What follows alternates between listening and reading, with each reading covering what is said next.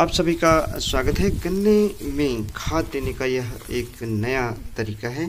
आप देख सकते हैं कि हिल बना करके यानी छोटे से गड्ढे को बना करके इसमें चाहे डीएपी हो या सिंगल सुपर फास्फेट या यूरिया या माइक्रोन्यूट्रिएंट्स को दिया जा सकता है।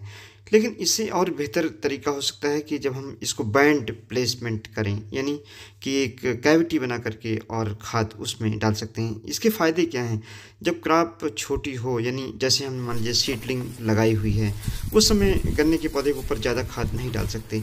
लेकिन अगर हम इस तरीके से खाद का बैंड में प्लेसमेंट कर दें तो ज़्यादा खाद जहाँ एक और डाली जा सकती है, वहीं दूसरी ओर एक खाद निरंतर और लगातार गन्ने के पौधे को मिलती रहेगी। इसमें चाहें तो रासायनिक खाद के अलावा जो हमारी जैविक खाद है, कार्बनिक खाद है, यानी चाहे बर्मी कंपोस्ट हो और चाहे कंपोस्ट हो, उसमें रासायनिक खाद यानी डीएपी सिंगल सुपर फास्फेट को मिला करके, यूरिया को मिला करके और डाल सकते हैं।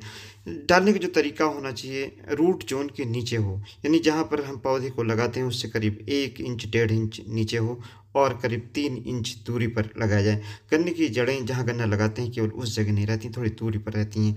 जब हम सीडलिंग लगाते हैं, उसमें ज़्यादा खाद एक साथ नहीं दे सकते हैं, पौधे मरने लगते हैं और एक और फ़ायदा है इस तरीके की खाद एप्लीकेशन के तरीके का।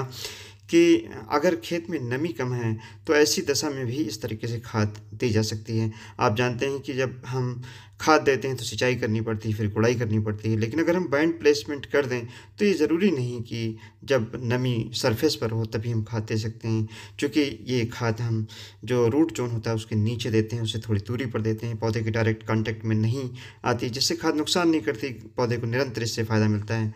धन्यवाद। जय हिंद। जय